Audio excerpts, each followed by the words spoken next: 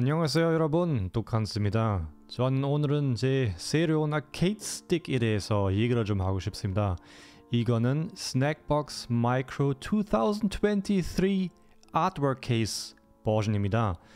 이거는 뭐 진짜 좋아요. 저는 여러 가지의 아케이드 스틱 아니면 hitbox 컨트롤러 사용해 왔는데 이것이 진짜 만족스러워요. 사이즈는 작고 가벼워서 휴대하기 편하고 레이아웃, 이 버튼 레이아웃도 제 작은 손에 참 좋다고 생각합니다. 또한 여러 플랫폼과 게임과 호환되어서 사용하기가 쉽습니다. 이 리뷰에서는 Snackbox Micro의 장단점 그리고 제 개인적인 의견과 경험을 공유하겠습니다. 구독과 좋아요 버튼 누른 다음에 재밌게 보시기 바랍니다.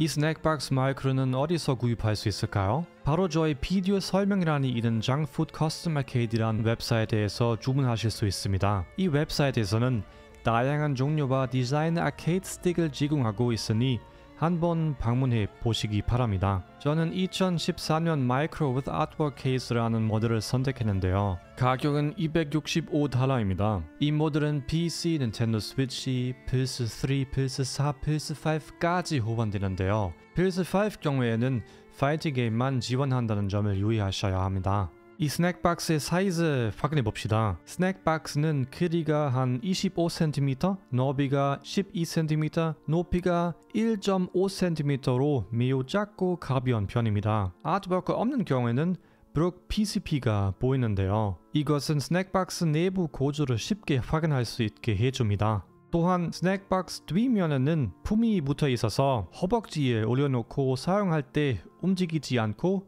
안전적으로 고정됩니다. 그렇다면 이 Snackbox의 artwork를 어떻게 추가할 수 있을까요? 여기 뒷면에 보시면 5개의 나사가 있습니다. 이 나사들을 풀어주면 뒷판을 제거하고 PCB에 접근할 수 있습니다. 앞면에서는 artwork 커버를 벗겨내고 원하는 artwork를 넣을 수 있습니다. 전 이제 artwork를 잘못된 크기로 인쇄해서 아쉽게 되었네요. 키 스위치도 hot swap 가능하므로 여기서도 빼고 바꿀 수 있습니다. 설치된 키 스위치는 갈축이라고 합니다. 전반적으로 말하자면 이 Snackbox를 분해하고 조립하는 과정은 매우 쉽고 빠릅니다. 제 보기로는 hitbox나 아케이드 스틱에서 가장 중요한 측면 중 하나는 물론 버튼입니다. 그리고 말했듯이 Snackbox는 갈축이란 스위치 사용하고 3D 프린트된 오목한 키캡도 사용합니다. 소리가 어떤지 들어보세요.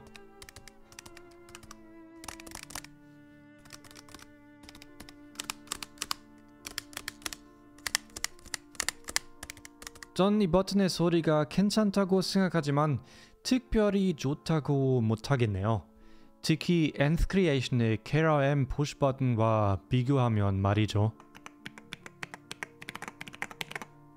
비디오에서 보셨듯이 스낵박스엔 RGB 조명이 있습니다. 스낵박스를 휴대폰에 다운로드한 앱에 연결하면 다양한 조명 모드를 바꿀 수 있습니다. 저는 아쉽게도 휴대폰 화면은 캡처할 수 없어서 이것을 직접 보여드리지 못하지만 매우 쉽고 직관적입니다.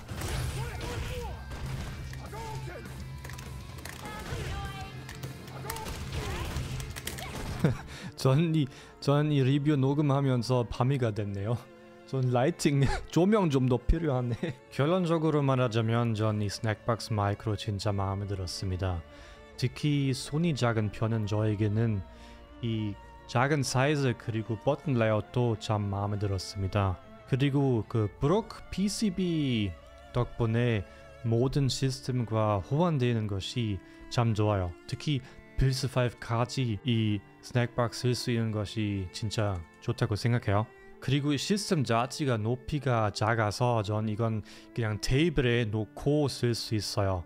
굳이 허벅지에 놓을 필요가 없는 것이 진짜 좋아요. 전반적으로 말하자면 잘 만들어진 제품이고 가격 대비가 만족스럽습니다. 저에게는 유일한 별로 안 좋은 점은 이 버튼 그리고 스위치입니다. 저는 그냥 이 소리 그리고질감은 특별하지 않다고 생각해요. 특히 아까 이미 말했듯이 그 KRM 버튼과 비교하면 말입니다. 그런데도 여러분들은 작은 hitbox를 찾으시면 이 Snackbox를 추천드리고 싶습니다. 그리고 이 hitbox로는 스트리트 파이터 6에 나올 때 걱정할 필요가 없을 거예요. 캡콤은 며칠 전에 그 up down SOCD 난리 시켰죠. 근데 Brook는 그 PCB를 위한 업데이트를 준비하고 있습니다. 그래서 그 Brook 업데이트로 인해 앞던 Neutral SOCD 가능해질 거예요. 그럼 여러분 시청해 주셔서 진심으로 감사드립니다. 구독과 좋아요 부탁드립니다. 그리고 만약에 여러분 제 채널 친구들에게 알려주시면 좋겠습니다. 전 진짜 채널 상승에 도움이 좀 필요해서요. 고마워요. 다음에 봐요. 바이바이.